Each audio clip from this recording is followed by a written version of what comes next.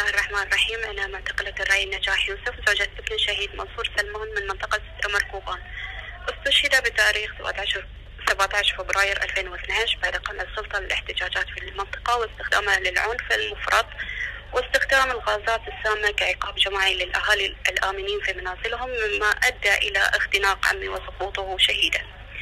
فترة التحقيق معي تعرضت للتعذيب النفسي والجسدي بالضرب والاعتداء الجنسي والقتل واتهامي بالترويج للقيام بأعمال إرهابية وقلب نظام الحكم.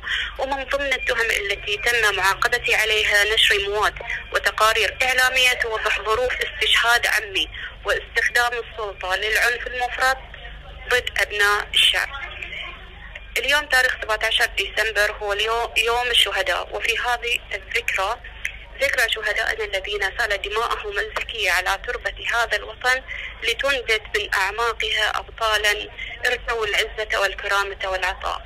نحن المعتقلات الثلاث نجاح يوسف هاجر منصور ومدينة علي. ننتهج الدرب الذي خطه الشهداء من أجل الحرية من أجل الوطن. والسلام عليكم ورحمة الله وبركاته.